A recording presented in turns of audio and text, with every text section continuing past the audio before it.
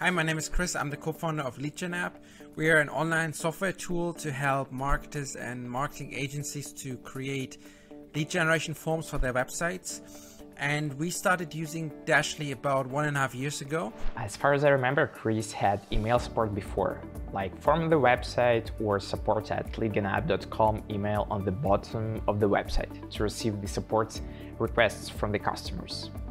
From the very beginning, they know that live chat solution would be a great replacement for email support, and there Dashly came. At the time, we didn't have a support system on our app, and we were looking for a better way to deal with customer requests. We found Dashly it um, seemed like a great fit for what we needed, being a software tool, dealing with customers every day, and also with the ability to really go into analytics to see how our users behave in the app. Dashly has been really helpful for us. It helps us to respond to customer requests very quickly, to assign requests to different support agents um, and deal with them. Last year, we implemented a customer support process, not just to upsell features, but to be on the top of the customer's satisfaction. So we checked LeadGen app and recommended them to try LeadBot as it has been released not long ago. We suppose that it could be a great alternative for triggered messages for the pricing page and inside the app.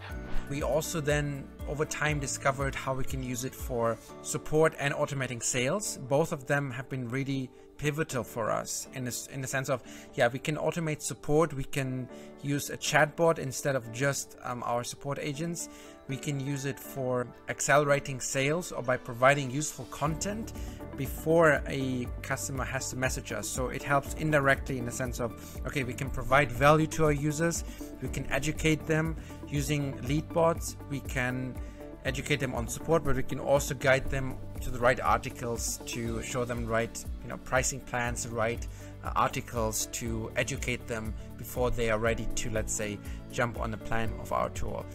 Chris wanted to lower the customer support workload, so the lead bot should help them to qualify people asking common questions that the customer support team usually asks them. LeadGen team made a complex leadbot flow instead of just a few questions and managed to cover almost every question about the product. They did the same for sales and replaced a triggered message with the leadbot talking about the Pro plan and as a result, they get 30% sales growth. So both of these things have been really useful. Then we also use triggered messages inside the app. So what we do is uh, when a user signs up for our tool, we basically trigger automated messages. And let's say they navigate to a certain part inside the app, they would see what exactly this feature is doing.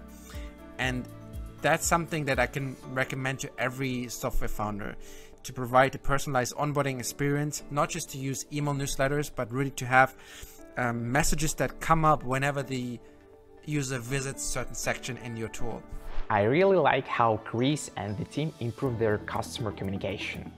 Once they switched from the email support, they did the same with triggered messages to onboard people inside their app and give people the exact information they need at that moment.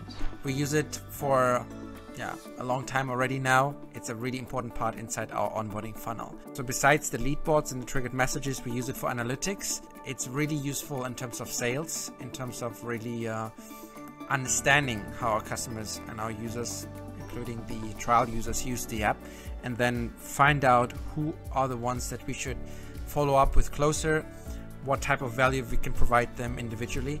Um, so all these things combined really make Dashly a great solution for us and I can really recommend it to any software founder.